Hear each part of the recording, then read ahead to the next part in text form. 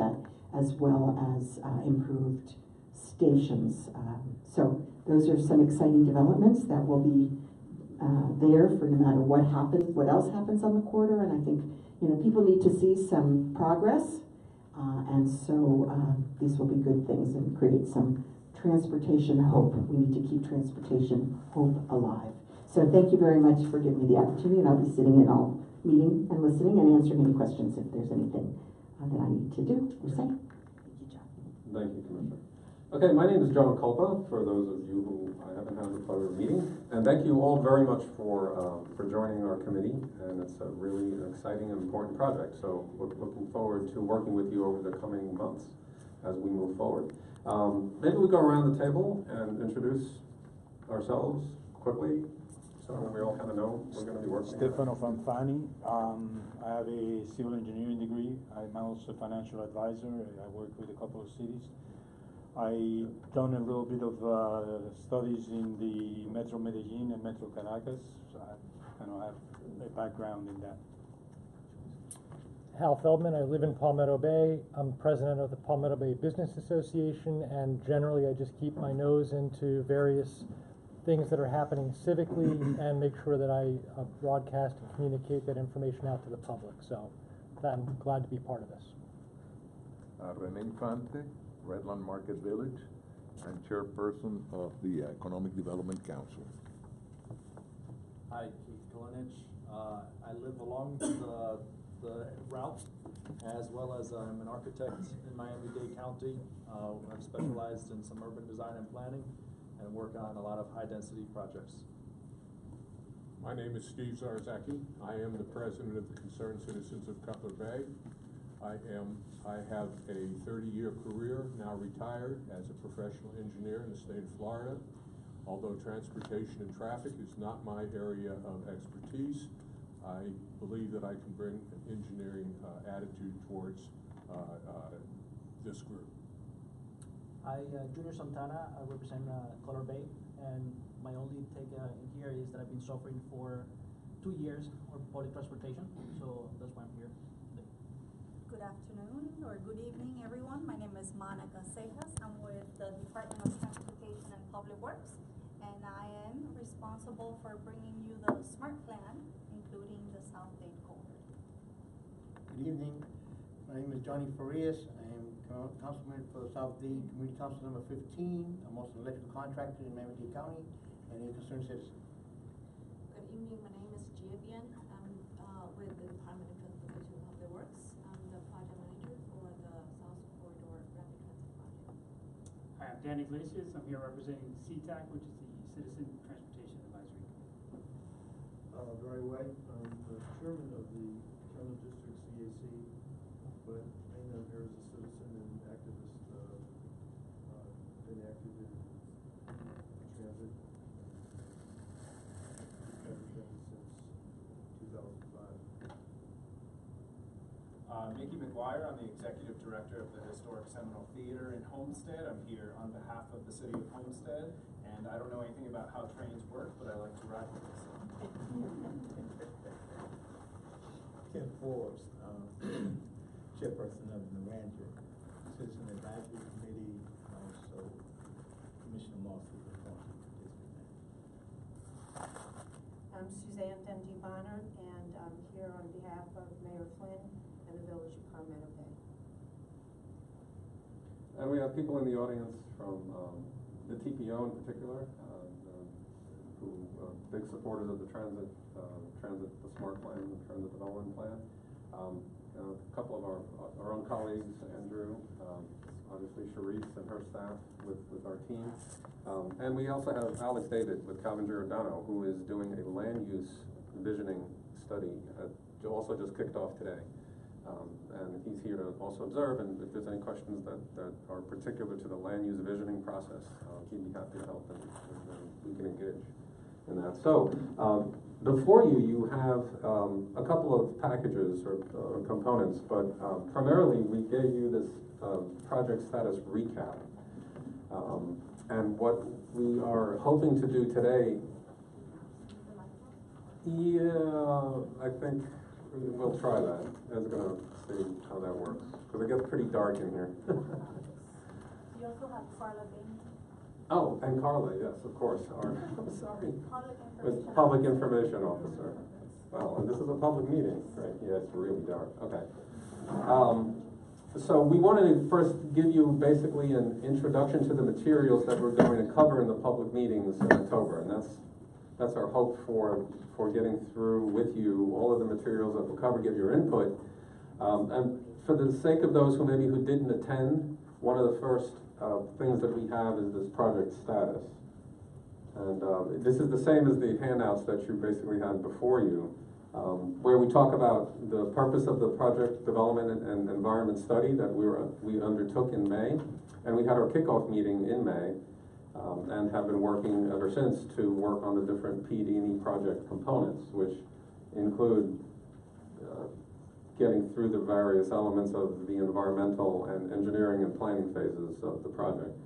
And uh, as I mentioned, you know, there's kind of two components here. We're doing the PD&E study, and Calvin Giordano has just been engaged by the TPO to develop the land use visioning. So we're talking about the South Corridor as part of the SMART plan, and that's the shaded area in yellow.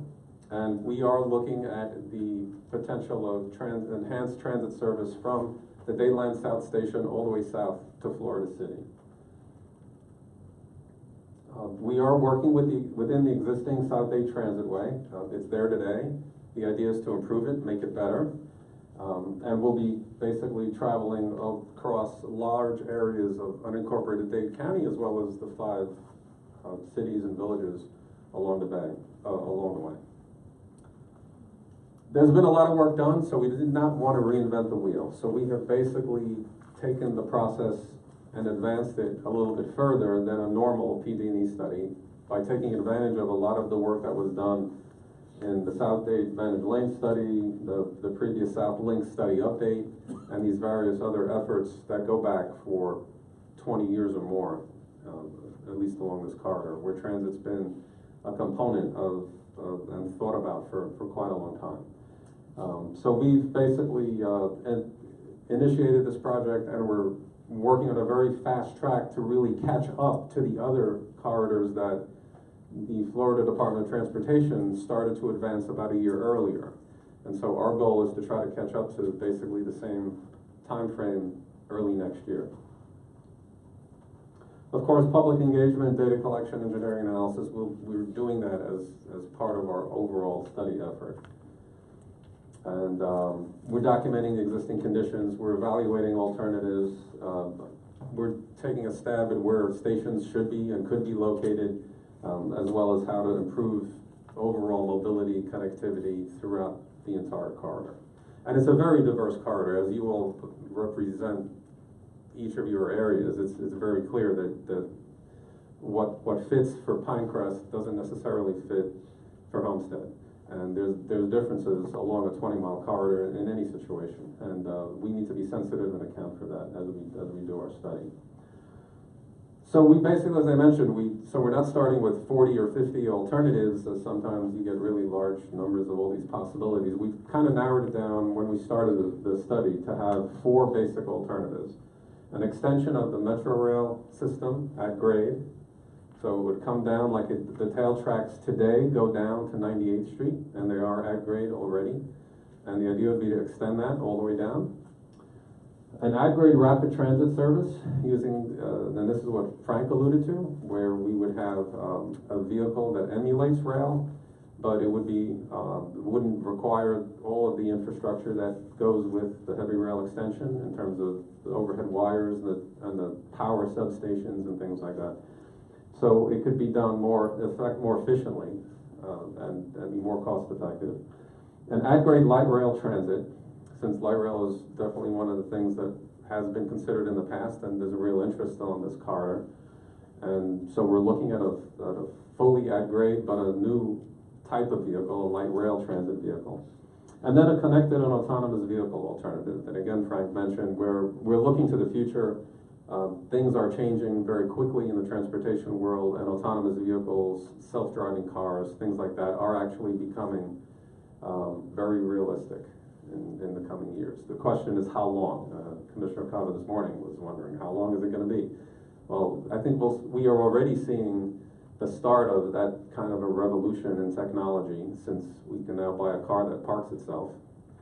Um, but there's, it's a continuum, it's gonna take time, it's not gonna be overnight, but, you know, having an alternative like that does, does make some sense.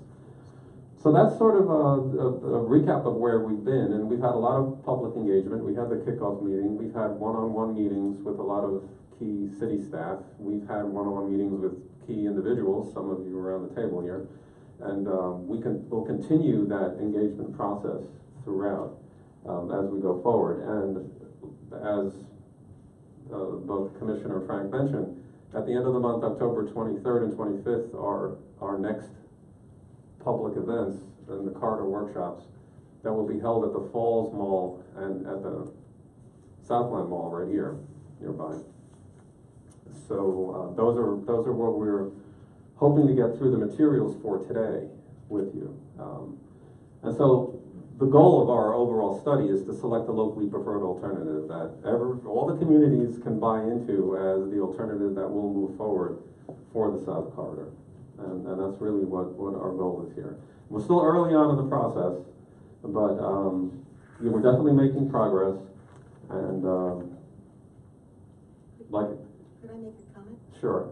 Just as to the outside date of twenty nineteen, one of the things that we're working on is how to push that Is how to push it closer. Closer, Right. which is some hurdles with FDOT and Florida Department of, well, Florida Department and federal. And then the Federal Transit To see how right. they, certain of the studies can be shortened and how we can add review personnel. So, so the idea is to move it into twenty eighteen. So, in order to inform that a little bit further, the FTA actually told us in July that we could get, we in fact would have to do no more environmental analysis if we were to keep this as a bus rapid transit solution, as a bus-based system. If we take the path of having a light rail alternative or, or heavy rail extension, they would require an environmental assessment, and that's a minimum of two years. So that's where the float in the schedule comes from. Are there any other questions about that part of where we've been? General thoughts? We can turn the lights on, I don't know. Um, I noticed that any consideration of an elevated, uh, portion or total, uh, system that is off the table. And that, uh, makes me ask the question, how many crossings of the grade level are there in that corridor? And how are they gonna be handled? And what is the current travel time from beginning to end with the existing vehicles? And what is the, uh, proposed travel time for each different alternative that you're offering? How will that change? Okay. Uh, we are not considering the elevated, a fully elevated system because it's just too expensive. It would be well over a couple of billion dollars. If I may, that may be true, number one. Number two, I, I don't mean pushy, but let's do it.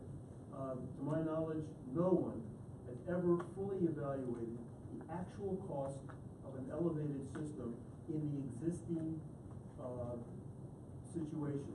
You've already bought the land, you own it, you don't have to buy right away, and everybody's doing a by comparison.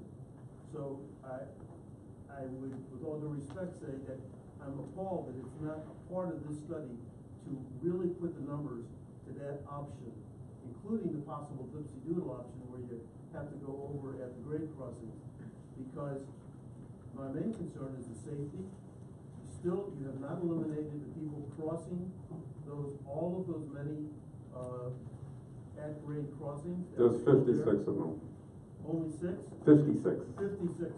And to, and I don't care if it costs a few billion dollars, you're investing in the future of twenty-two hundred square mile, over three million population entity. So if it costs a few billion, so what? You gotta invest money at some point. Somebody's made a decision that you can't afford it, it won't work.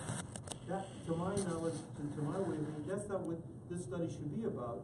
You have to go to the base and build up and eliminate those things, uh, before you do it out of hand. Okay. Well, we're going to be doing the cost estimate, and we do still include the potential, and I think I didn't mention it earlier, but you'll see it in, in our workshop on the stations. We still have the potential to do the grade separations at, at individual locations. By doing the so rise we and kept fall, that in. is that what you're saying? Yes. Yes. Um, yes, I have a few comments too. I agree with Mr. White.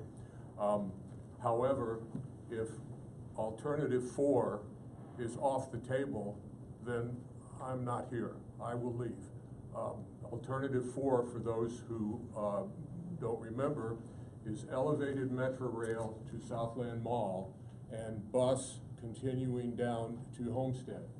The reason that I can take from all of the plans that I have read is that alternative four was um, discarded uh, because, in my opinion, of misleading statements in the plan. The plan stated that um, uh, US one has been widened to its fullest extent. This is not true south of Southland Mall. US one is four lanes south of Southland Mall and can easily be widened to six lanes. In addition to that, uh, the turnpike is four lanes south of Southland Mall and can be widened to many more than six lanes, as we are seeing now in Cutler Bay. And of course, Krome Avenue is currently being widened. Uh, so, so, and my count by, by Google Earth is that there are forty-six road crossings over the busway between Dadeland and Florida City, averaging 0.4 miles apart. This means that given the same frequency of, of, transit, uh, uh, as we have on Metro Rail today, there'll be as many as four hundred and eighty at-grade light rail trains crossing over each of these roadways every day. Um, this would, this would impact traffic horribly. As I see it, based on an average speed and uh, that frequency, uh, each grade crossing would need to be closed for the trains to pass as long as eighteen minutes every hour. Now, I haven't seen any traffic impact uh, studies that, that, that clearly, accurately, and honestly, uh, uh, take this into account and present what this would cost in terms of congestion on US one. And, and we haven't even started to talk about at-grade crossings, where the gate has to come down and the, and the lights flash and the, and the bells ring. Um, these, these crossings would have to be coordinated with the lights on US one so that the queues over the over the rail could clear prior to each one of these four hundred and eighty trains coming through. So any, any chance of timing the lights on US one is gone, and we're now adding more delay to US one. Um, haven't even spoken about what impact at grade is going to have on safety. Uh, the U.S. Department of Transportation uh, defines something called an exposure index, which is the product of number of trains per day and number of cars per day that meet at intersections. Um, they they um, they uh, uh, say that any any exposure index greater than forty-eight thousand indicates grade separation feasibility. Um, if you look at any of these crossing roads, uh, some, some of the, um, uh, average daily transport, uh, uh, trans- transportation are in the order of thirty-three thousand five hundred at Southwest 152nd uh, Street. That's thirty-three thousand cars per day, and if you multiply that times four hundred and eighty trains per day, you get absurdly high exposure index, which almost guarantee that we're going to have a high incidence of train slash car collisions. Any at-grade solution, in my opinion, will be a catastrophe and will be worse than we have now. I, I'm going back now to alternative four. The reason that we dropped uh, uh, uh, elevated Metro Rail all the way to Florida City is because it was too expensive. It cost, according to the SMART plan, one point one billion dollars. Not, maybe, maybe that's been upgraded now. Um, the, the preferred local, uh, uh, alternative, as I know it today, is at-grade light rail. The, the, the, um, estimate for that cost is six hundred and forty million dollars, about half of the elevated. So, what will plan alternative four do?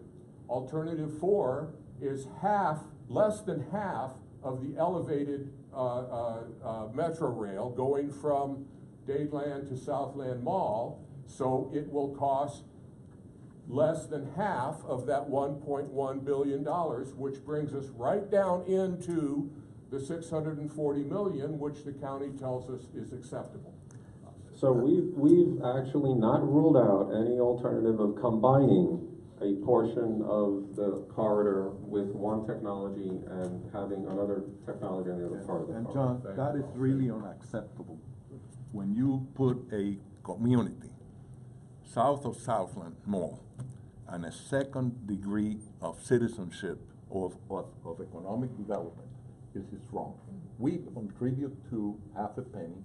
Now we have a, a paper here saying that if I, uh, support half a penny more, half a penny of you is worth the same as mine. So what I'm proposing here is a unified system that is worth and equal for everyone in the future. We're talking about the future, Mr. White, I agree with you. We ought to consider an investing in South Dade for once in our lifetime. We should do it correctly. And in order for us, most of the, of the, uh, larger developments are gonna take place on the US one corridor unincorporated areas. So what are we doing? Let's, let's really wait until we, we see it all, but I will go ahead and, and put my, my money on a system that is integrated and equal for everyone. I may, there's one Sure. I don't think anybody's considered an elevated road on the whole corridor for use by BRT, or whatever you call it, by buses. And then you could have ramps at different points along that roadway to access along the roadway from wherever it's uh, appropriate. So if you had an elevated roadway, it's not a metro system, for the, for the buses, you solve a lot, you've brought the cost down for sure, and you're using the buses, which are more flexible and can be driven by gas or economically.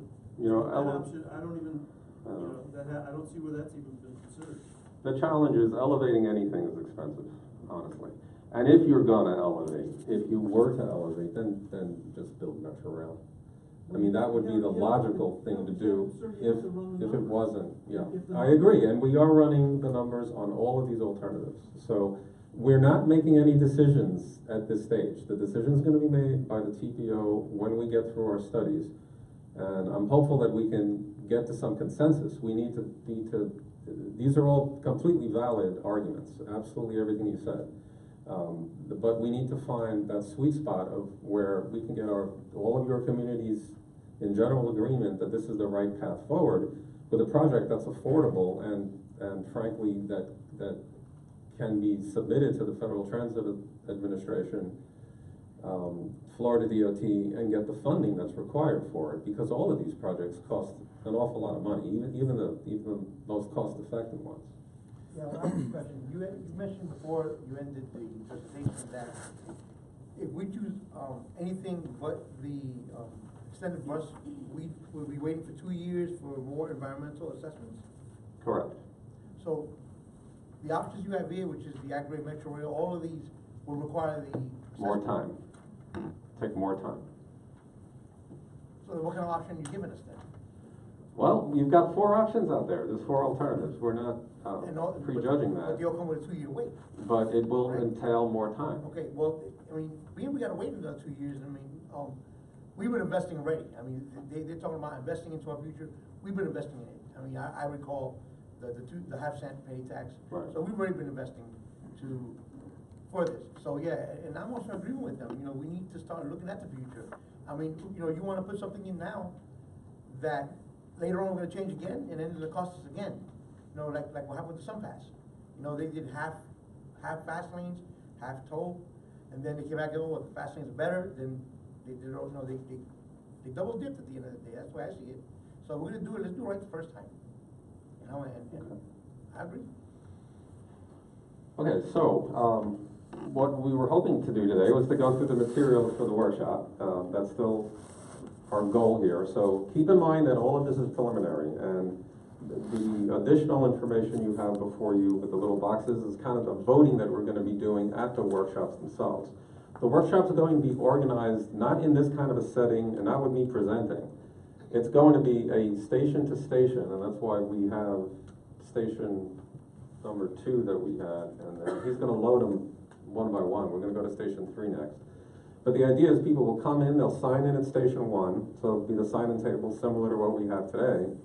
But then we will take little groups of people as they arrive and move them into station two, which is the recap, so they get familiar with the information, all the way through to station eight. So we actually have eight little activities, well, actually six activities where we will be asking for their input. So just like we're asking you today, um, we're going to have, and hopefully like an assembly line of people moving through the room, going from station to station, learning about the project, ask, and getting their input, and, and asking them for their opinion on what they've seen and what they'd like in the future or what they currently think about it. So, uh, the next station would be station three. So imagine yourselves, you signed in, you have the recap. We would then do, um, this would be a, we're gonna have a board that presents the basic information about our corridor. Um, and we'll have someone there to help orient people on where they are. So what this is, is a flyover of, um, yeah, okay, I'm sure I couldn't see it. And so we've done basically a Google Earth flyover. And this will help people orient themselves along the corridor and what we're talking about. So it starts off at the Dadeland South Station, and it identifies the corridor in, in the light blue, and then it proceeds. And this will basically be looping throughout the entire two hours that we do our, our, our workshops. Um, and again, here it's just basically to orient people as to where the corridor is, what the features are.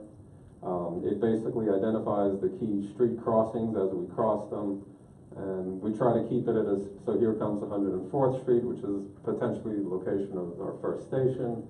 And people can ask questions, they could orient themselves, they'll be able to see where they are on the corridor in relationship to where their places of business are, where they're, where they're, uh, where they do their shopping, where the Falls Mall is, and so forth.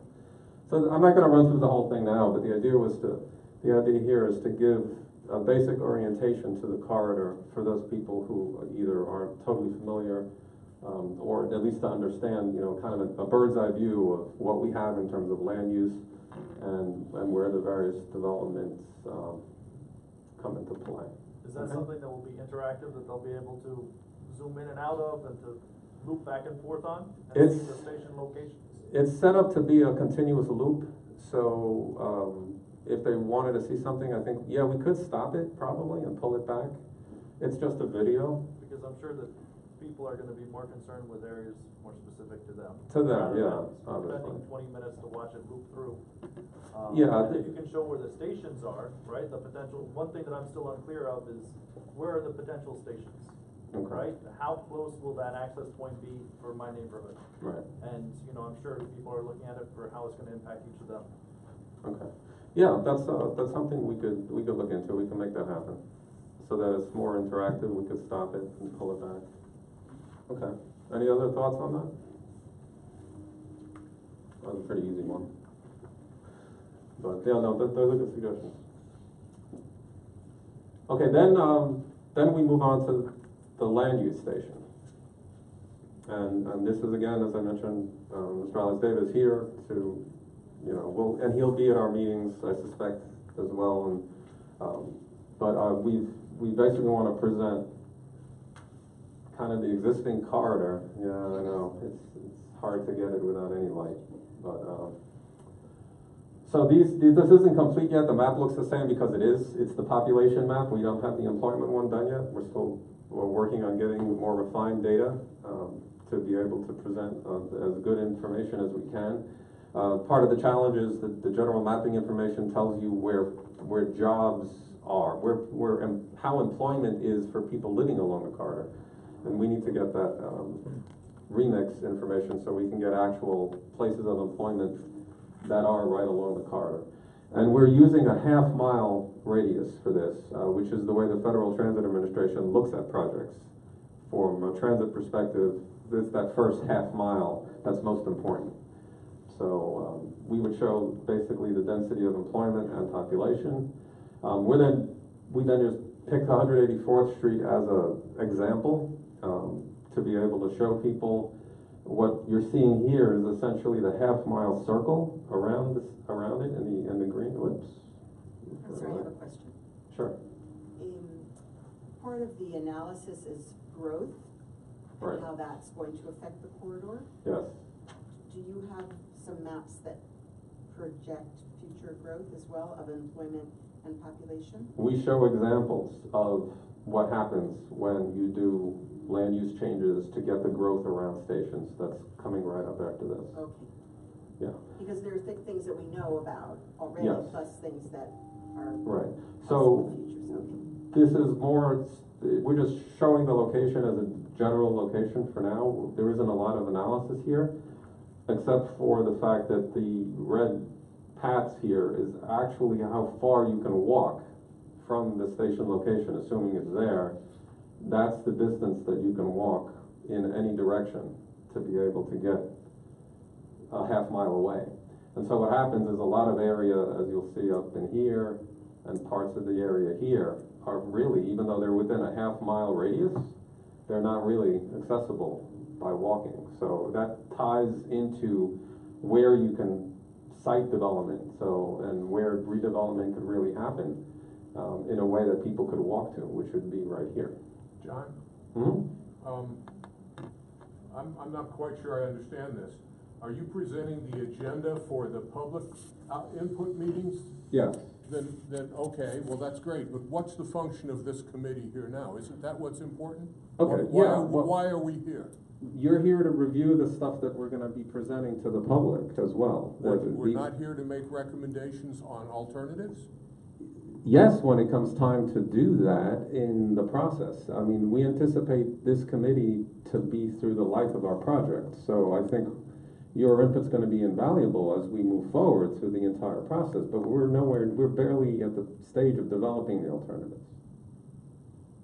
So we don't have the information to share with you to be able to make a rational decision. I know you have your ideas on what that should be based on the studies that were done previously.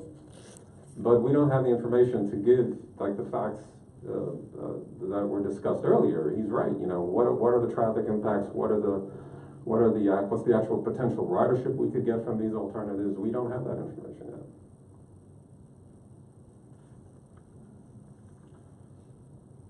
Did you lay out the schedule of how often they would meet in the public meetings to, to answer? Yeah, I could, we could talk about that, um, from the, uh, I was thinking when we recapped it, we talked about next meetings and the schedule. Um, but once we got through our stuff, which is, there's quite a bit of stuff to get through here. But we, we were thinking about every quarter, essentially, every three to four months, that we would get the committee together as we develop information for the project. Can we make some suggestions tonight about what kind of studies and analysis we would like to see at the next meeting? Absolutely. Okay. Can I make one now? Sure. Could you produce traffic impact studies of the current four, is it four or five alternatives? And another, another one for the, um, for the, uh, um, alternative four?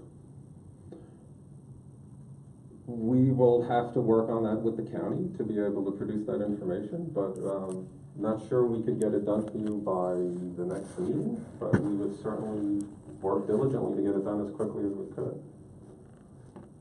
Right now, we've done an analysis of two intersections from a traffic perspective and found that the at-grade situation actually doesn't hurt traffic either on the cross streets or on US one at an at-grade situation, yeah. And, but basically, it's a very truncated, just, we just did two test intersections for the moment. We have not done the entire corridor.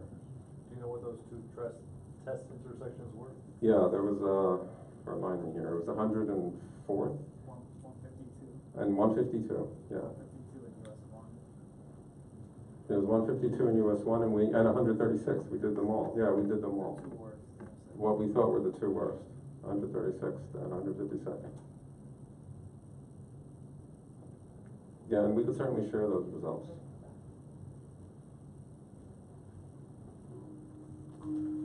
So, um, as the commissioner was alluding to earlier, we, we looked at, um, try to, around the country where places have made land use changes to increase density to create transit-oriented development, and these are some before and after shots that we'll be sharing with, uh, with the group as well. Yeah.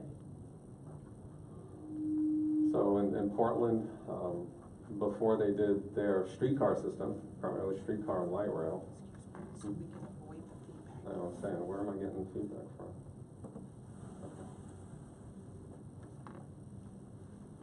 And so this, uh, again, this shows the before development, and the, Portland's really had a major amount of development over, over really close to twenty years that they've had their system in place. Uh, what happened there? North Hollywood, which is still in planning in California, but this, this takes the entire, um, area, and this is interesting because this is, it's below ground, but this is the same situation that we had at Dadeland South. Um, this is the underground station of their Metro Rail connecting to a bus rapid transit station right here. And that's where the bus rapid transit would be, and they're looking at development all around it. And then, of course, we will show our own Dadeland South, which is a great example of how a before and after um, can be with transit development. Yeah, it's pretty amazing. That, that, that is the change that happens. So, yeah, so we're definitely trying to get to, um, to show the difference and to show how, how density and land use changes work together with transit improvements. Um, how a general kind of, you know, process, and this is where, you know, I think the work Calvin Giordano is gonna be doing is more focused on, um, this kind of interrelationship of land use with transportation solutions, and the workshops and, and charrettes they'll be holding uh, are gonna be key to develop that land use plan and the land use planning all up and down the corridor that would essentially support what we're doing on our project. And vice versa. And then we're gonna ask the public for their opinion, um, which is one of the sheets we have before you. We'd like yours too. Um, if, if you could mark up those sheets and we'll collect them, that way we'll kind of have a sense of, you know, pick one. Which one would you like to see in your area or along the corridor? Now, probably all four are, are ultimately gonna be, um, selected in different areas, but just to get a sense of, you know, is, is the Dadeland South large story development like that something that's considered acceptable? Or would you really wanna have it more medium or, or lower density in various areas? So if you could take a moment and mark up your sheets, we would appreciate that. It's anonymous.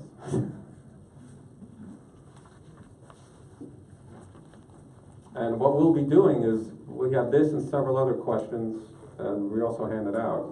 Um, as we go through these station areas with the public, then we will be collecting that information in real time so that people can see the results um, as they vote for different things. And so we have 50 votes for this and 20 votes for that.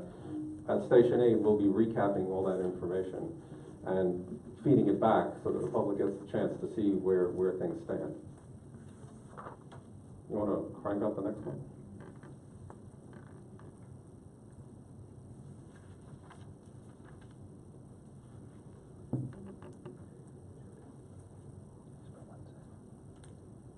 The next station is to compare the various transit modes, the four alternatives essentially, in terms of technology that, that we've selected. And it's a little hard to read here, but, um, essentially, it's the rapid transit service, and we try to provide as much information as we do have available, even though it's relatively still preliminary. Um, so, this is where we talk about how long the, the, uh, the line is themselves, how many, uh, what's the distance between stops, so that the, um, for example, the RTS, we're saying is about a half mile to as much as two miles, I keep pushing that back on. Um, and that goes up to, with a heavy rail alternative of one to two miles, um, where because of the need to be able to move a train faster, you need to have the stops further apart, you really can't stop that often. Uh, we also do have some preliminary costs there, so it's a range, so we're, we're pretty clear that we'll fall in, in those ranges, and I think we do. Uh, the RTS is two hundred to two hundred fifty million, uh, five hundred to nine hundred, we're giving for the light rail transit. Uh, the reason for the higher end on that range is primarily, we don't have light rail transit in the county right now. So you would need a dedicated maintenance facility, and you must buy all brand-new vehicles. So that could potentially increase that cost, make it almost as much as doing a heavy rail extension, which we're showing, again, as a range from seven hundred to one point two billion. And, uh, the connected autonomous vehicles, that's the biggest range, we're really not sure. Um, you know, depends on how much of the reconstruction of the corridor that would entail, and if, uh, and, and how the vehicles are actually handled. Autonomous vehicles could mean converting the existing bus fleet to be able to efficiently run them like trains, where you have three or four vehicles grouped together with one driver in the first vehicle, and the others are just following along because they're connected electronically. Oh, Quick question. Sure. The preliminary total capital cost per million there, is that for the whole Yes, South corridor? that's the entire corridor, yes. Okay. All twenty miles. All 20 miles, exactly right. Yeah, that's why there's, another reason there's a range, because it's twenty miles. So, Can I right. ask mm-hmm. A question, Olson? On the connected autonomous, uh, there's some potential revenue that is being contemplated, right? For, you were talking this morning about possibly running in it, and it says shared lanes. So maybe you want to describe what you mean by shared lanes. The others Um, are semi-exclusive. Yes, okay, the shared lanes means that we would uh, incorporate the autonomous vehicles onto the transit way. So they would share lanes with, with transit, whereas When you say sh- uh, share, you mean like privately operated autonomous? privately autonomous, yes, Okay, so there would be Right. a, a merger potentially of the two. Right. Which would potentially have a revenue or not? No revenue. No revenue, so just if No. you had. no tolls. Right. Okay, okay. No. I have a question. too. It's just sharing the space. You said, be- or somebody said before that the elevated, um, the cost, estimated cost for the elevated one was, and for option four, I don't know whether there was a calculation to, all the way to Homestead, was in the order of two billion dollars, is that what? Uh, Okay, I actually did the cost estimate in large part for the north corridor in two thousand and six to nine, when I was here before, trying to get that built. Our cost estimate in two thousand and seven or eight dollars, a little, might be a little off for the year, was nine hundred seventy-three million dollars for nine and a half miles of elevated rail. Did that include the, the right of ways, the? No right, ver, yes, there was right of way in there, because we were bouncing from side to side, but it was maybe two hundred million of that. And that was in two thousand and seven or eight dollars. Our year of expenditure estimate was one point four billion dollars for that same project, But you did have. which was this year, which was like 2015. Well, you do have savings in, you don't have to have a new maintenance facility, you don't have to Yes. buy new, new rail cars. Uh, Up to a point. If we're the first No, corridor, o- o- we're good. obvi- obvi- Obviously, obviously. Yes. But you do have Yes. certain savings along the line. Absolutely, right. So that's why that's not a two-plus billion dollar estimate. It's, it's half that or less, Okay. okay? Preliminary. Now, there is another advantage, there is six hundred, four hundred and fifty to six hundred passenger capacity per train. Absolutely, yeah, Rather than a hundred to absolutely, three hundred, so. absolutely. you, you need a lot less. That's why these are the four alternatives, that's right. You need much, you, you can handle, um, your potential passenger loading with a rail transit vehicle, either light rail or heavy rail, much more efficiently than with, um, single unit, smaller vehicles, so that's true. Okay, yeah, this is an important slide, and we suspect there'll be a lot of discussion over it, but it's just, this station just has this one, um, one facility, and again, we ask for their opinion, what do people like, what would they like to see? Question for, for. So fill it in.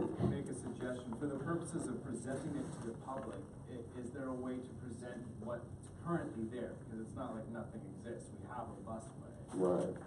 So, you know, at, in evaluating what we have, you know, for us to know how much better our rapid transit system is gonna be, it'd be helpful to see what does that busway do for us right now? How many, you know, stops do we have? How long does it take? How many passengers can it? That's can true. accept? We could, we could have an existing operation component to that, that's, that's actually a good idea. And my apologies to the gentleman next to you, I didn't say what the current travel time is, sixty-five to seventy minutes today, uh, with the buses that are being run, depending on the schedule. And we try to, uh, we're hopeful that with any improvement, even the at-grade improvements, we can get a ten to fifteen minute reduction. And our goal is to get an hour, basically, to downtown. So we'll get close. We may not be exactly at or under an hour, but um, certainly with a Metro Rail alternative, um, we would be, it- right now it's 20 minutes from Dadeland South to downtown. And so to do the 20 miles, we're hopeful we could do it in about 35 to 45 minutes, depending on um, how well we could get the traffic signals to work, which by the way are being upgraded to controllers that can allow full preemption. And our assumption is that you would have to have the full preemption for whichever of these alternatives in order to make it work at grade. So that when a vehicle comes, it goes through the intersection. If I may comment on Steve's, uh, request for what we should, I think we should know. Um, Even if we're gonna use rickshaws on this roadway, uh, we still have to know, the main thing is safety, number one. Absolutely. The safety at the crossing. Fifty-six grade crossings, number, there's a safety consideration, and then there's, for me, a full evaluation of how long it's gonna take for the trains to pass with it, any, with any given headway, and real time, how long are those crossings going to be blocked, uh, as we, move forward? For, Right. it's not gonna vary that much for the different alternatives, but what are we looking at in terms of blocking the roadway for the vehicles, the, the transit vehicles, and again, the related safety issues. I, I think this committee, from my standpoint, should know these things before we decide on any, uh, options. Absolutely. I co- completely agree. Um, in terms of the, the frequency and the headway that we were anticipating, um, we had that in the chart, but I'll, I'll go over it briefly. Um, for a good bus transit operation, for a good RTS, this rapid transit service operation, a five-minute peak hour headway would be awesome. If we had a, a vehicle that would come pick people up every five minutes, you wouldn't have to worry about a schedule. It would all be just, the, the vehicle comes, you missed it, ah, uh, another one in five minutes, that's fine. So that translates into twelve interruptions per hour, per direction, if we were to give it full preemption with gates. And that's essentially what we analyzed within the And how long two intersections. Uh, for an RTS vehicle, it would probably be about ten to fifteen seconds. For a heavy rail vehicle, it would probably be on the order of thirty to forty seconds.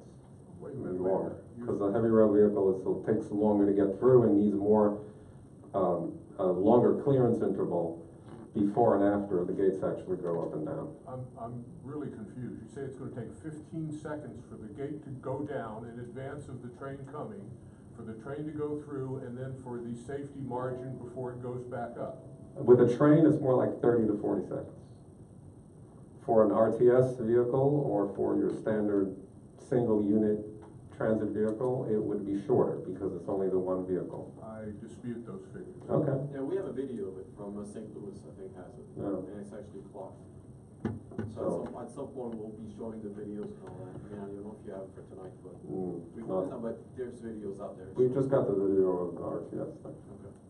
Uh, one more comment. Sure. Mr. White mentioned something very important, and that is safety. And that's another re- request that I would like to make, to see a safety analysis based on the DOT, the US DOT procedures for calculating not only, um, uh, collision frequency, but also severity. Oh, somebody's keeping notes. Absolutely. Thank you. You're welcome. Okay, so the next station is our station comparison, and this is another important one where we'll start showing what the stations could look like. And at the end of this is when we'll show the RTS video, actually, um, to you all here. So we try to keep certain features common to all these alternatives so that there's a certain level of service and expectation that people can have regardless of the mode. So we'll have you know, shared, the bicycle and pedestrian path that's there today would remain under all alternatives. Emergency vehicle access, we intend to maintain that as well. Um, we're looking at center platforms for all the transit alternatives to make it easier for people to have, just go to one platform location and know where they are, don't have to worry about north or southbound and worry about crossing the street. They can pick up a train in either direction.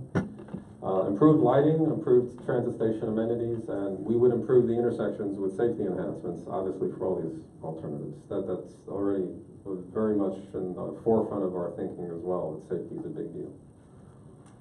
So, um, this is the presentation of the rapid transit service alternative with the station in the center. And, um, again, we're just basically showing the basic facts about the station itself.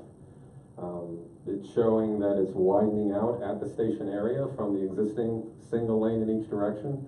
But at stations, we'll have the ability for vehicles to pass each other so that we can also introduce express service.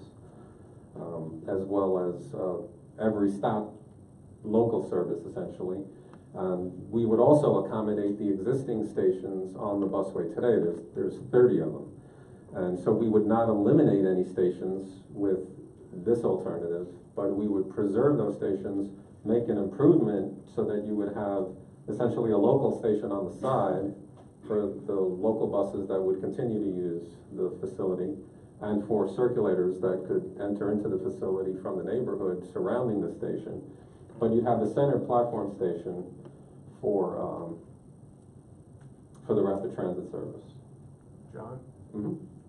in that last slide, Sure. how do you access the center platform? By crossing the, the transitway? You cross the transitway at the intersection, yes. It's, it's single loaded from the north side in this particular case. It's hard to see there, but it's actually you, you would, you, you would come across the intersection. We have a rendering it that shows it a little bit better. Um, This is the Metro Rail alternative, and you'll notice here that the platform is, is higher. It's, it's not as low as the RTS. The RTS is essentially a, a six to twelve inch curb. Here, we need to go to forty-three inches to accommodate it, and it introduces the overhead contact system, which is the poles on the two sides. Right there. To power the system, and it would also need some space probably at the back of the station for the traction power substation to be placed. So again, the intent here is to try to show the differences among these four alternatives. We'll have these side by side, so they'll be easier to see when we show them in the, in the public setting. Uh, the same thing with the light rail alternative. In this case, the station platform is basically the same height, and but the dimensions are smaller. So if you go back to the Metro Rail, you notice the platform is a lot longer, and it's a bit more truncated with the with the light rail alternative. It doesn't have to be as large as the Metro Rail would require. And then for the connected autonomous vehicle alternative, we've identified the uh, a potential area where vehicles could stop for if they were autonomous transit vehicles. Um, and we're also showing that it's going also to a continuous four-lane section so that we could introduce uh, autonomous vehicles that, so they wouldn't interfere with each other, similarly to the way we had the RTS, so that vehicles could pass each other without impeding their flow. And so that's basically the four alternatives. I'm sorry, quick question on the CAV. Yeah. They're presumed to be electric, Yes, they are, excuse me, they are presumed to be electric and we have these recharging, the ability actually to have like spot charging at, at this station here. And we changed, uh, basically at the stations, the other component would be at the station, we have to figure out a way to, I think we need to put something like that back in that bubble diagram. Where we show that you could actually park vehicles and they could locally stop like a kiss and ride function or a taxi stand. Autonomous vehicles that would be circulating through the neighborhood to bring people from the transit system to their homes. So you could be at home, you call up your app, an autonomous vehicle, driverless, picks you up and takes you either to the station where you then get on the RTS buses or, or any other part of the transit system, or they could just continue as an autonomous vehicle to your destination. And I'm sorry, would you be talking about how those uh, routes would be determined for the circulators? Is that part of your presentation? Um, not this stage, again, that's probably something we'll do later. So when we- later you might ask Yeah. for input as to Exactly. that would best Right. work. We're, we're also going to have down the road alternative workshops where we'll be looking, we'll, we'll have laid out more detail on these alternatives. And that would be the best time, I think, to talk about the circulators and the details of how that feeder network ties into this main spine of the busway itself. Um, okay, before I go to the video though, let's, uh, we've done, so this is what a typical station would look like. Um, again, the station design itself is subject to community input, your all input as well. But the intent is it's a center, center platform station, and that's, as you can see in the top photo, um, in the top, the crossing across the street would happen at the normal pedestrian crosswalk, so obviously be enhanced. And we would have covered walkways extending on both sides. But the center station here, we're looking at from the back end here, would be an air-conditioned space that would um, give a lot more comfort to passengers waiting for the RTS system on a daily basis. Excuse me, how many people would that hold? Looks rather small. That's fif- that's actually, the platform is uh, 12 feet by 120. So discounting the walls, it would hold probably about 50 people comfortably in the space of about 100 feet by 10. Did you mention those would be air conditioned? Yes, there, yeah, the plan is to have the, the center station air conditioned, not the outsides, but that center, this, this structure in the center would, would be air conditioned. It would have next, but all of the stations would be upgraded with next, next, uh, next vehicle arrival information and, um, What's the time interval between the fifty people entering, mounting, and the actual people going out? Well, it, it's at each station, so, um, the passenger loading per station typically right now is somewhere on the order of ten to twenty, maybe a little bit more in a few of the key stations. I've seen maybe 20, 25 people mm-hmm. get on at one time. So it's, it's, it's not spacious, but it's, it's reasonably comfortable and we can size it to what we expect when we get our ridership numbers and, and a per vehicle assignment. We can make it a little bit longer, certainly. We can't widen it, but we can make it hundred twenty feet, for example. You also have pre-payment, so before you, I'm sorry, before you actually get on the, on the system, you prepay, just like you do on Metro Rail. You, you have a ticket vending machine at the station location, and you go through fare gates. Oh, Once you're in the enclosed area, that transit vehicle comes, you can load through any door. It also has level boarding, just like the trains now, where you could just step, you, you don't need to step up to, to your transit vehicle, you just walk into it. So it has a lot of features that help you speed up the boarding and deboarding process as well. Right. Another question. Uh, you're assuming that people are gonna walk to it. Um, most, most people are gonna have to probably drive to it. How do you account for cars, parking lots? We have park and ride as part of the project directly, and there are other park and rides that are in the process of being developed. The commissioner mentioned the Tiger Grant, so we are applying for a um, fifteen to twenty million dollar grant from the federal government to pay for a park and ride facility at 152nd. At each one of these stops? At, uh, that one is for specifically Okay, one that, hundred fifty that particular, but Right. eventually that would be. Eventually, yes, we, right now, we're, we have nine in the overall system that we're either, uh, that are either existing, or uh, brand new ones, or, or that are in the planning phases. For example, Homestead is doing a multimodal transfer facility on its own in Homestead, right at, right at the facility, right adjacent to it. And, um, so yes, absolutely, that's very important. A lot of people will drive, and we, we anticipate that, and so park and ride is key. John, uh, would they have bathrooms? Uh, Because one of the biggest problems I see is, uh, No. people are Yeah. using it, uh, I mean, But it's this- not conducive to a lady to take a, No. uh, In, we would. That's one thing. We are anticipating having restroom facilities at the terminal station at three hundred forty-fourth Street. And, and there are facilities at Dadeland South today, but the interim stations along the corridor, honestly, there just isn't room to be able to fit it all in this configuration. Is there any uh, way that we can, this committee can obtain, uh, uh, what has happened with the busway in terms of, of how many accidents we have had? Uh, because we're, we're talking about the same intersections, a different mode. So I would be uh, helpful to see how. Yes, we can absolutely pull that together for it. John, Another a a suggestion, since, as you said, nothing is off the table, Nothing's off the table. could you add elevated platforms and elevated stations to your presentation, so that becomes a, uh, uh, something that the public can look at? As you mentioned, look at that, a nice segue. We actually, um, well, we're gonna try to make this look a, a little bit better, but if we were to do a grade separation and have elevated segments, there are some that, most of those would require an elevated station. So, um, essentially, this is what it would look like at the Falls Mall. And, um, we've, we've got some of the facts about it, so would be about a three thousand foot long structure. Um, the height would be twenty to twenty-five feet, there's some variability there, obviously it goes up and down and at, at the, at, at both ends. Um, and it's about fifty-four feet wide at a center platform location, which is right here. It's where the center platform, it would be, the center station.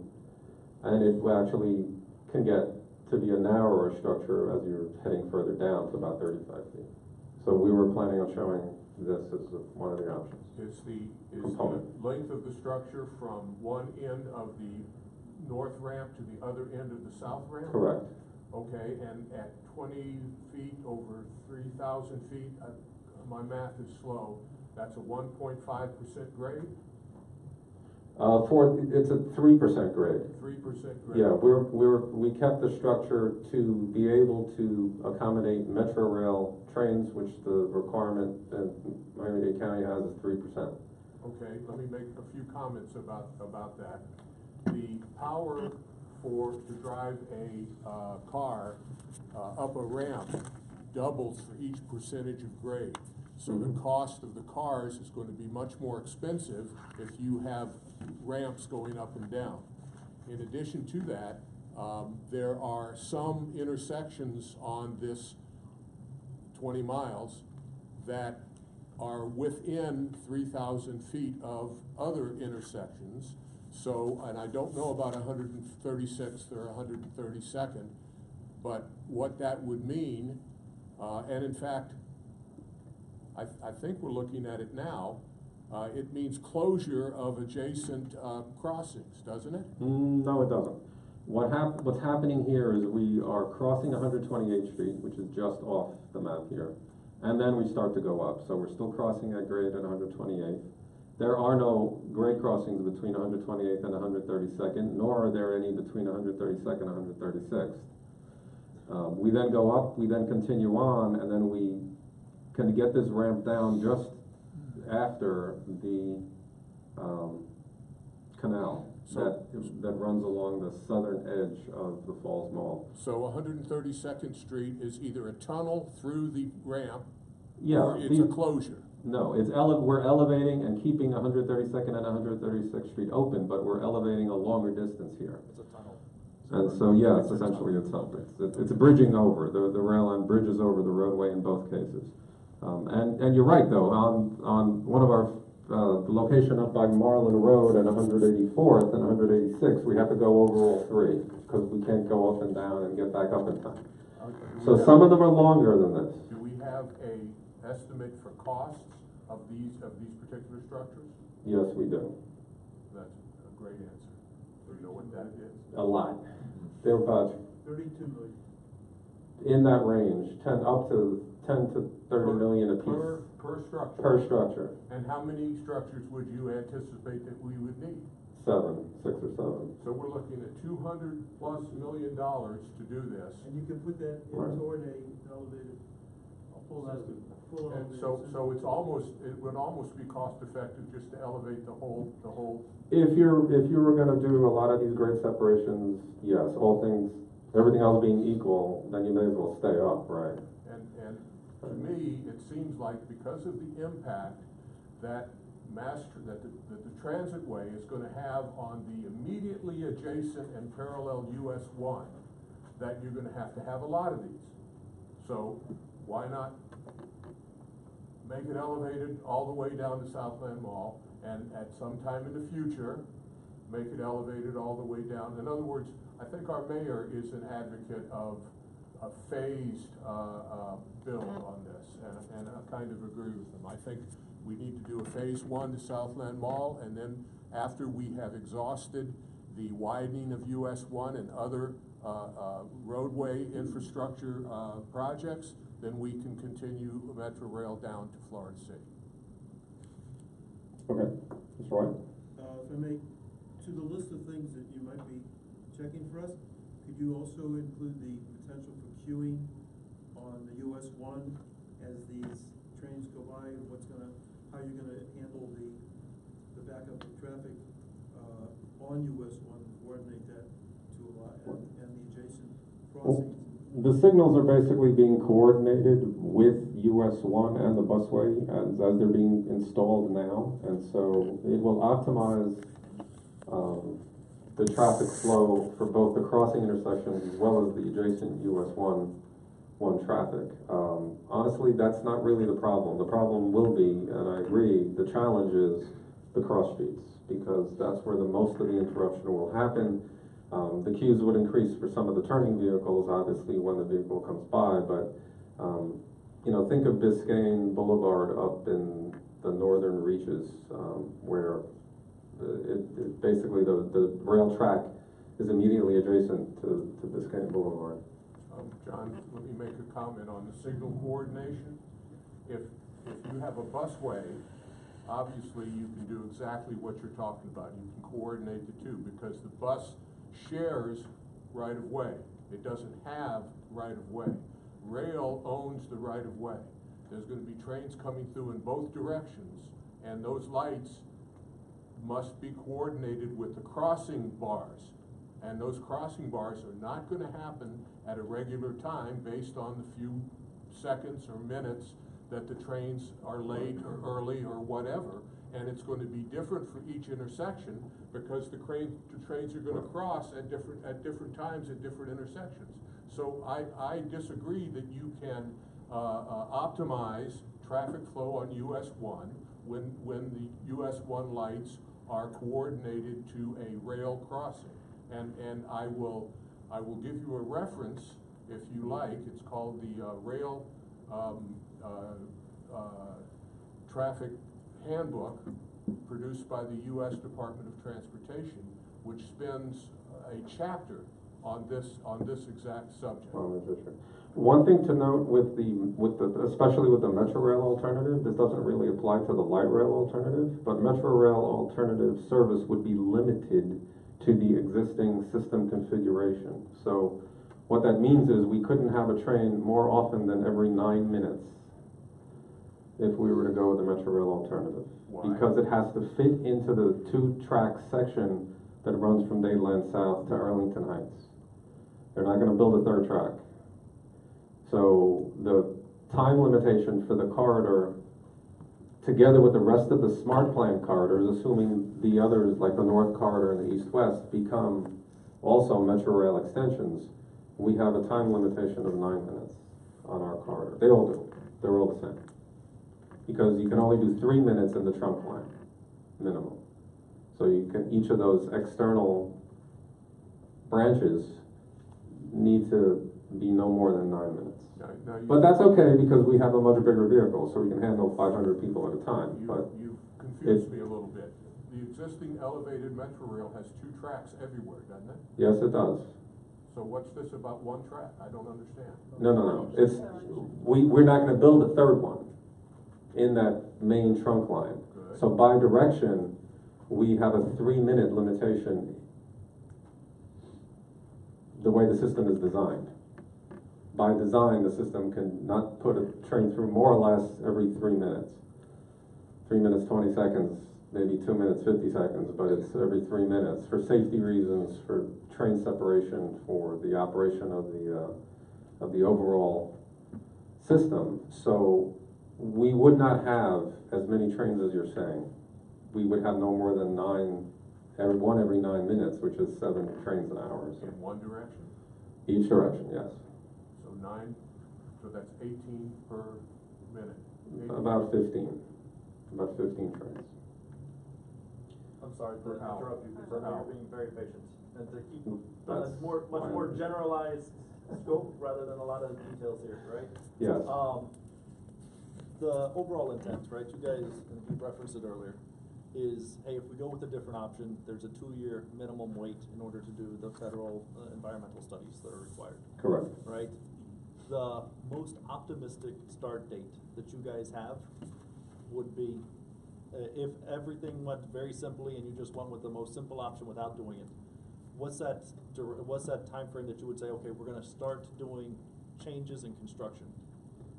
If we could start, if we, if the slate was clean and I, we could start January first, let's say, or the, towards the end of the year this year, right? But let's say January first of this year, it would take probably about a year to procure a design build procurement and then, uh, two to three years of actual construction time.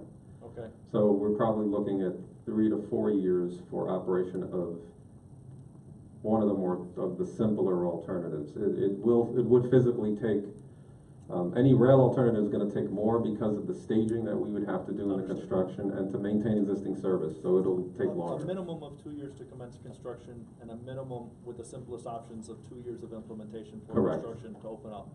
What happens during that time frame with the existing busway, um, and the ridership that is on there now, right? Because then at some point, depending on how complex we go with the system, is gonna add to a greater congestion because you're taking that ridership off of the busway for that time being. What are the impacts that that has based on the durations? Because I'm sure as we go elevated, right, uh, it's a great system. This is the next best option in my opinion, right? But as we go with those more complex options, is taking people off of a busway that they're dependent upon right now and only adding to the congestion. Well, we would, we would actually work with the transit system to maintain service while we were constructing it. That's why I'm saying it would take longer for the rail options. Because we could do the RTS improvements relatively simply. We would be building stations in the center, we'd maintain one side or the other, maintain traffic as we, as we built it. Um, it's a little more complex and it would take longer. We would still do that though. We would still maintain existing service to the greatest extent possible because that's cutting our nose to spite our face. Okay, uh, we've done about a half hour overall, so I did want to show you the video. Where the video, there it is. You you gotta click on it.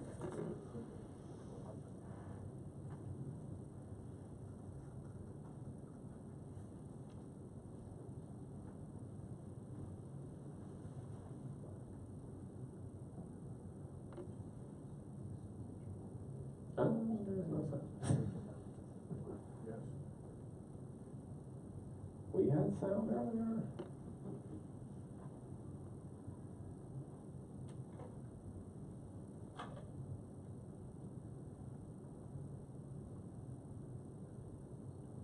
This video actually was shown at the, uh, was it at the TPO meeting or at the, or both at the TPO, at the TPO meeting? Not this one. Not this latest one, no, no, but This is previously. fresh, fresh off the press. Oh, this is a brand new video. It's not the same one, okay. Specific to the South Core.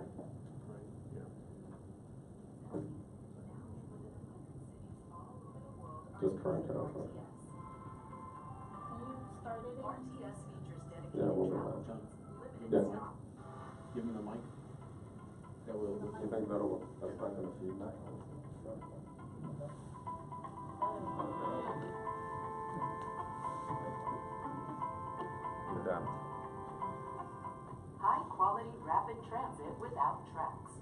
fast, reliable, and comfortable. It's what communities around the world are opting for because it's innovative and cost effective. Rapid Transit Service, or RTS, has all the benefits of rail or light rail, but it costs less and takes less time to implement. The vehicles are rubber tire trackless trains, and one of the greatest benefits of RTS is that it runs on paved, dedicated roadways. First implemented in Curitiba, Brazil in the 1970s, now more than 100 cities all over the world are using RTS. RTS features dedicated travel lanes, limited stops, prepaid fare collection, and level boarding so passengers can quickly board. RTS will also feature closed, climate-controlled, well-lit, and fully accessible stations equipped with next vehicle signs. And with new smart signals, RTS vehicles won't wait at red lights, making service reliable. As a first major step of the Strategic Miami Area Rapid Transit or SMART Plan, Rapid Transit service can be implemented on the South Miami-Dade Transitway in approximately two years. Dedicated lanes already exist. The Transitway has some of Miami-Dade's busiest routes with nearly 4.3 million boardings in 2016. While transit ridership has been decreasing in Miami-Dade and around the country, ridership on Transitway's Route 34 increased by almost 12% in 2016. Along the South Miami-Dade Transitway, enhanced stations will be located at the center of the corridor, positioned along key commercial and business areas. RTS vehicles will travel along the center lanes, with one lane in each direction. Passengers will purchase passes either at the stations, in advance at other ticketing locations, online, or on their mobile devices, and validate passes prior to boarding. Passengers will experience faster, level boarding, and doors will open automatically when the vehicle stops. RTS vehicles will have the capacity to carry 300 or more passengers per trip and will have transit signal priority along the corridor. This means a faster, more reliable commute. With this service in place, riders will be able to get from Florida City to Dadeland South Metro Rail Station in under an hour and to downtown Miami in just over an hour. The operational costs are lower than a more traditional rapid transit system, which allows for this system to be implemented short-term on multiple corridors. RTS is Miami-Dade County's down payment for the future. By developing RTS along the transitway, Miami-Dade will alleviate congestion using rapid transit today and still have the flexibility to convert the type of service, whether to rail or an emerging transportation technology, tomorrow.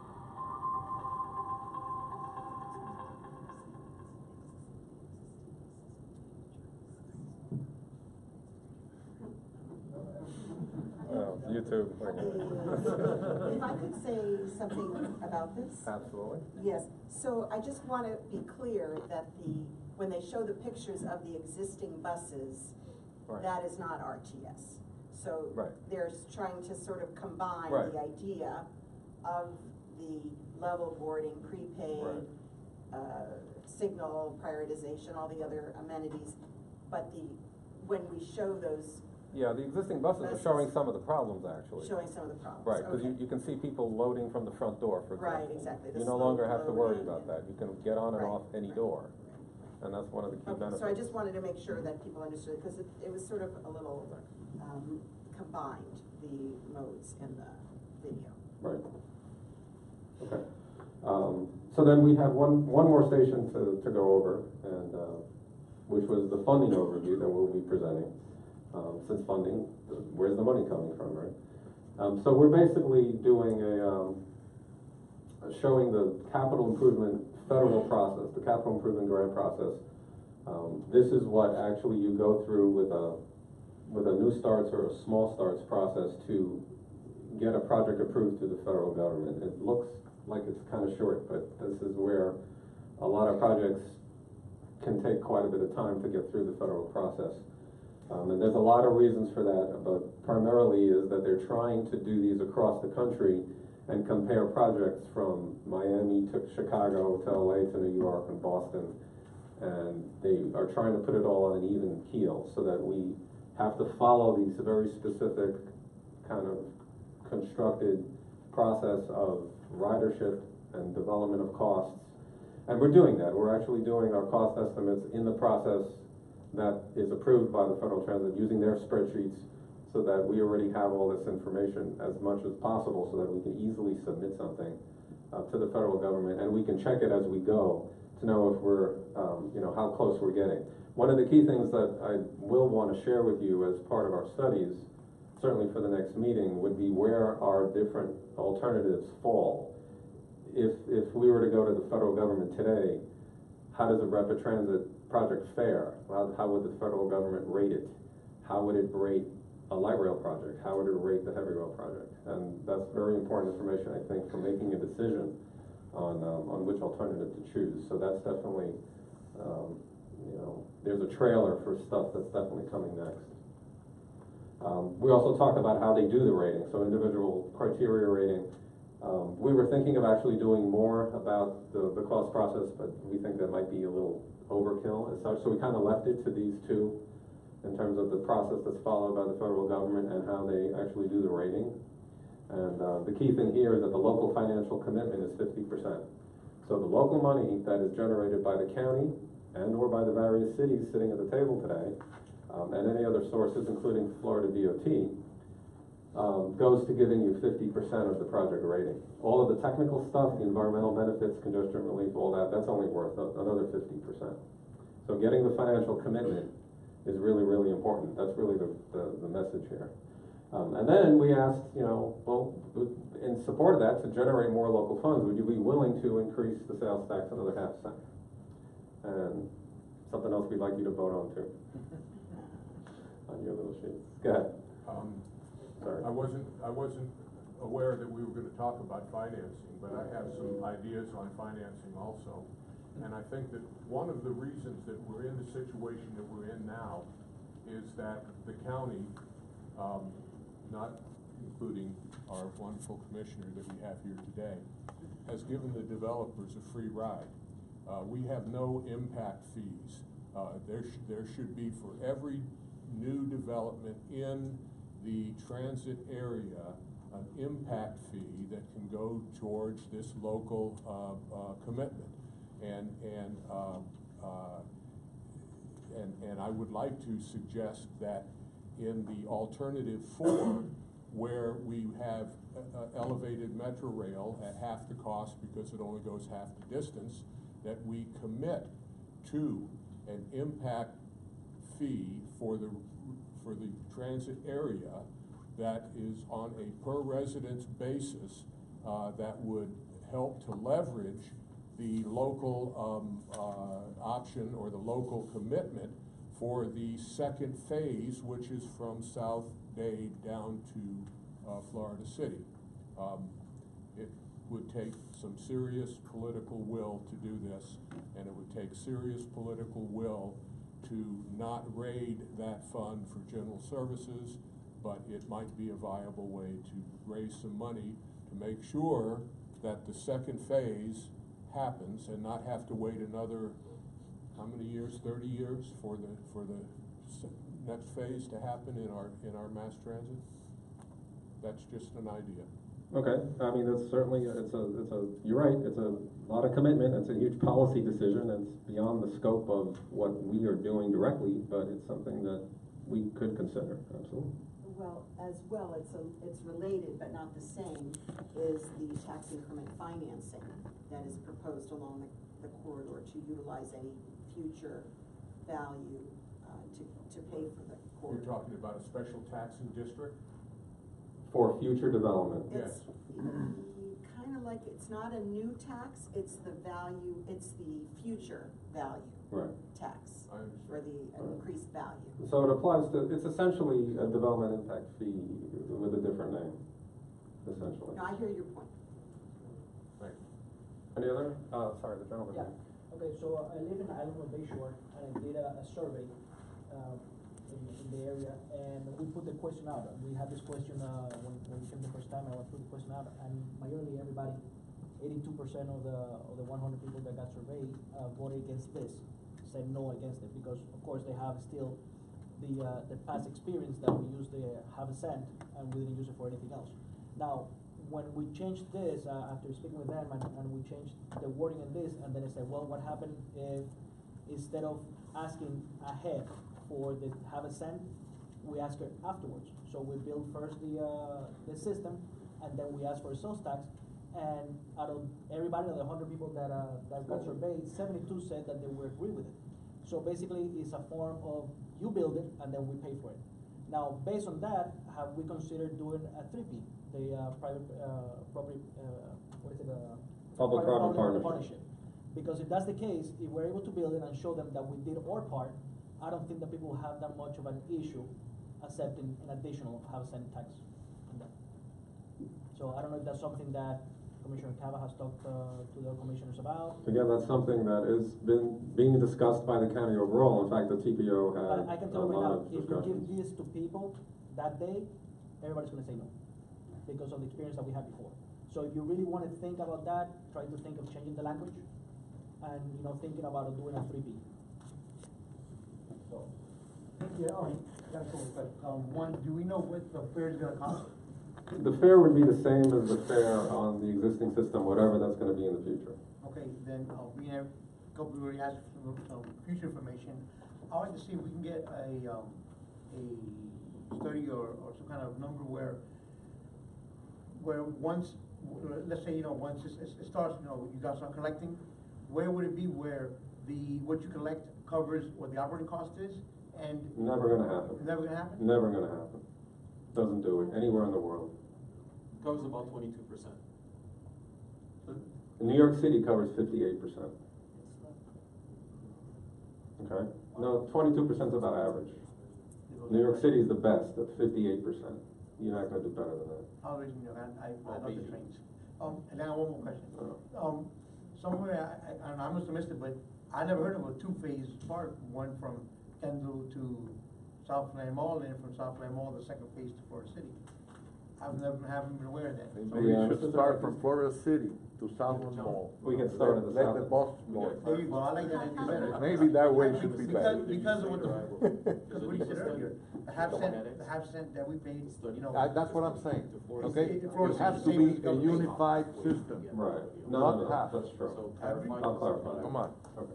Well, if you can clarify, but then I wanna say something about it. Okay, well, I'll clarify. We have a study from Dadeland South to Florida City. We are looking at the entire That's- corridor, that's- so that's- we're not gonna stop halfway. That's right. There are, I- I just what's on the table is, yeah, we could, we could work with, uh, you could do light rail in one section and heavy rail in the other, versus, flip it around.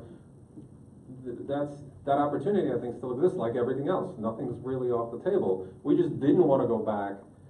I think really what's honestly off the table is a fully elevated metro rail system. It's over two billion dollars, gotta be. Even if, you, you know, no matter what we do But, with but the latest alter- technology. if you look it's at your, huge. if you look at your video, the answer is there. No, I know. It showed roadways for your BRT, whatever you call it now. TRS. RTS. RTS. Yeah, that. So, let me go back to square. If the goal of the whole exercise is to get people out of their cars, by considering this project separate from the feeder system of how you're gonna get the people to your system you're working on here, is doing half the job. You wouldn't need that huge monstrosity you proposed at 136th and 132nd, exactly where I live. If you look at your feeder bus system and you integrate a system that goes into the neighborhoods, makes it convenient, where you have maybe depots through the neighborhoods. I've talked to Monica about this in the past, and it's done around the world. Twenty-five hundred square feet, no parking, you can get dropped off, you can take your bicycle, your skateboard, you can walk there, dropped off, and it would have air conditioning, maybe, uh, cafeteria, whatever, and then you, your feeder system, that, at that depot, you could have, the feeders would come in from the neighborhoods, your BRT buses could have a, a loading ramp there, then they could get on this busway, this, this, uh, expressway. And so unless you consider that as a whole, how, how you're gonna integrate it and how it's gonna work, you're gonna, you would build systems like that and not have, consider how you're gonna get the people there. And the main thing, to get the people out of their cars. If you start building parking lots at these stations, you've, in a way, you've defeated, you still have people in their cars, they gotta get there. They've gotta come across Kendall, they've gotta come from all over. If you take the system and distribute it out into the neighborhoods and have your capillaries and arteries coming in, then you, you don't need those kinds of things. And the other thing is, that if you don't have restrooms at these stations where there are people there, you, you're, you're dead before you start. It has to be convenient, it has to be safe, it has to be comfortable, it has to be sexy, it has to, you know, you've gotta consider these things if you're gonna get people out of their cars. And, you know, if, if I may, you know, I, we should have a, like a, either a half day or full day workshop so that we can really hash out our concerns and, and, and fight out some of these things, if this committee is gonna be anything more than a rubber stamp. I second that. Yeah, I just wanted to clarify a couple of points. Uh, there was a set of, um, financial projections that were put out at one point by Alice Bravo, the Director of Transportation and Public Works, that looked at portions of the corridor, so that's where the idea came in. But that isn't what is being worked on. It doesn't mean that it couldn't come up, right, but it's not as was described. Uh, also, the video was prepared, uh, by the Department of Transportation and Public Works and is not the necessary future. It's a vision that they're putting out. So I just wanna be clear, you know, it, it obviously is trying to be compelling and show you the advantages, but it doesn't in any way preempt the discussion of this group and the, and the public's input. So I think, you know, to Barry's point about a longer meeting, you know, that's up to you guys, the planners, but I guess the point is, is you're having this discussion, you're seeing, I mean, I'm seeing things here, most of it I know, but I don't know all of it. So there's always advancing and more data. And then you're helping to shape what the presentation will be to the broader public, and then you'll, it'll come back to you, as, Right, as I absolutely. understand it, to mis, you know, to, to understand, interpret what the public said, and then give guidance about moving forward. So, uh, just wanna make those couple points. May I, may I very briefly comment on what Barry said? I, I, I agree with you almost a hundred percent. But I disagree with your goal, and that is to get people out of their cars. Uh, the goals are mobility, and I'm very pleased to see in your, um, presentation that you address accessibility. I think personally that accessibility is much more important than mobility. What's the difference? Accessibility is the ability to get quickly to your job. There's no law that says that the jobs have to be in downtown Miami and we have to live in Homestead. We can have jobs in Homestead. We can have jobs in Cutler Bay. And Cutler Bay, and, and this is not anything new. In the seventies and eighties, when I was young, that was a long time ago, there was a plan that came out and said, we're gonna have regional centers. And the first regional center is gonna be Dadeland, and the next one is gonna be Southland Mall. And these are gonna be areas where people can live, work, and play. And, and if Southland Mall was developed similar to what Dadeland is today, then the people on the corridor that are coming from Homestead could stop at Dadeland Mall for their jobs and not, not crowd the roads, uh, north of there. If, and not only that, if there were jobs at Southland Mall, the people could get, from Pinecrest, could get on the transit system or on the highway and go south in the morning. And wouldn't it be wonderful if we could distribute our jobs? And wouldn't it be wonderful if somehow we could pick up the ball on these regional centers and, and get, get traffic so it isn't all in one direction in the morning and all in the other direction in the other, but it's evenly distributed. if we could, if we could get traffic going in both directions, we could extend the life of our existing in, infrastructure by years. So I think that this has to go hand in hand with, with transit and with, uh, uh, highways and with mobility. We, we have to also develop accessibility. And, and I, it's not what we're here tonight to talk about, but since uh, Daniela is here and listening, I thought I threw it at her too. But, and I did not, uh, forgot to mention to the point about the connectivity to the neighborhoods. Uh, John said that that will be the subject of a future workshop, and it's critical, just, I mean, I, I, Absolutely, uh, by the way, I'm sort of a broken record on that topic, and if you follow me, you know, that's what I've been talking about for a long time, and it could not be more critical, because the last mile is, you know, the first and last mile is essential to a function. And it has to be at system. both ends. It can't just be, Yeah. you can't just look here. And that aspect of the entire smart plan has to be, I think, considered globally with all the plans, with all of the things, because unless we bring, sophisticate this feeder system throughout the county, no matter what you do with all these other things, you're wasting your time. Unless that feelers, feeders, and you can begin that now. You don't have to wait until all this other stuff is done. Right. You can begin, that's, some are already in place, some communities have already done it. Planning is ninety percent of everything. You can take what you have now, start working on that feeder system, which will automatically improve ridership and make it more comfortable. You don't need to reinvent the wheel to do that now and begin to work on countywide, and that'll affect all six of your. I, I just plans. must tell you that I'm working on that all the time, and we had a meeting about it this morning, and completely agree, and not only that we, it, it, it builds up the ridership for the future, and that was the point that I made. Absolutely. So You're all we're, right. Mary, we'll keep You're talking absolutely about all it, right. because we need advice about how to inform the department about it, okay? Can I make one more suggestion? I'm sorry. You wanna, Yeah, um, um, really quick, on the, um, I know, I know you said that about the elevator system, but on the elevator system, if we actually had it on the table right now, wouldn't that kind of like, um, take away already the concerns that Mr. White has for safety and Mr. Zaki has about the traffic?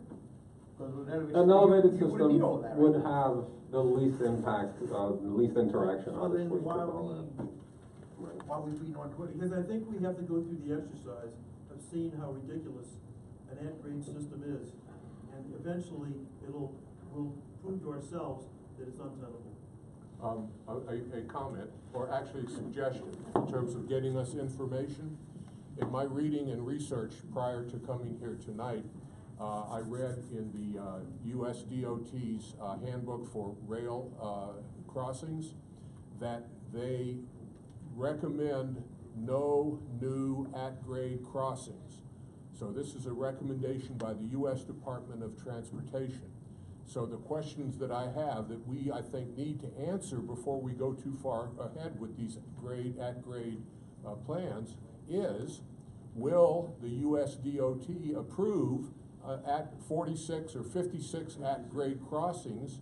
Uh, and, or will the feds, uh, actually fund a system that has forty-six or fifty-six new at-grade crossings when their own DOT recommends against new crossings? And they make the recommendation, which is, yeah, if we could build without doing grade crossings, that would obviously be a lot better.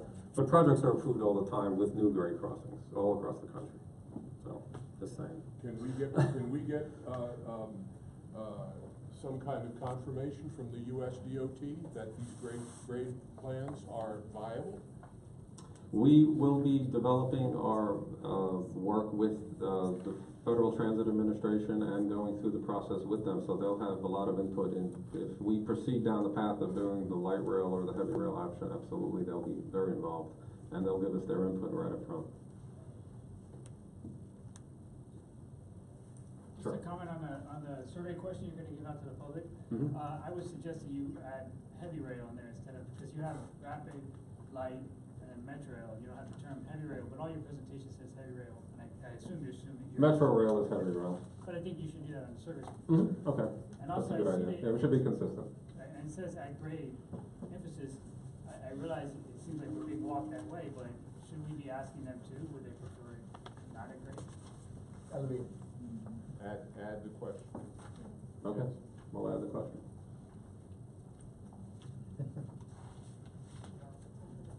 We're down to ten minutes, so, um, with, obviously, we do have some additional, there, there's one additional survey that you all got handed.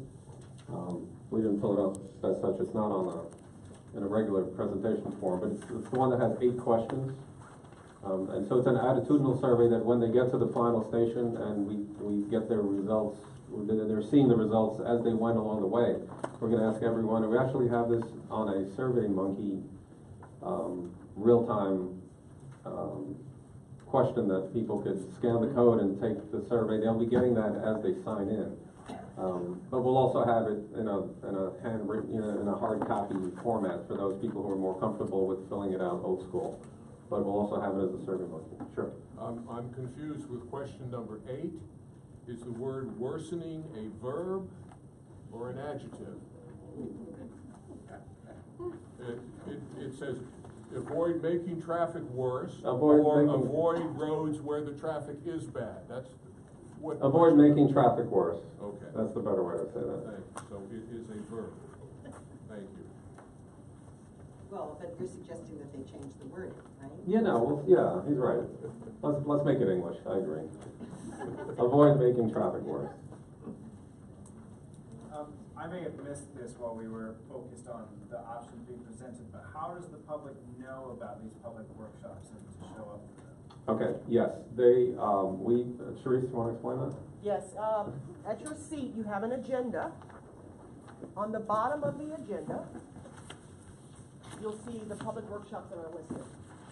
So for the public, we will advertise in the newspaper as well as direct mail. We're sending out direct mail to all of the property owners along the corridor. So that will start next week, and then that's how they'll be notified. Also, in the past, the elected officials also posted the information. The organizations along the corridor, we emailed them the information as well, and we asked them to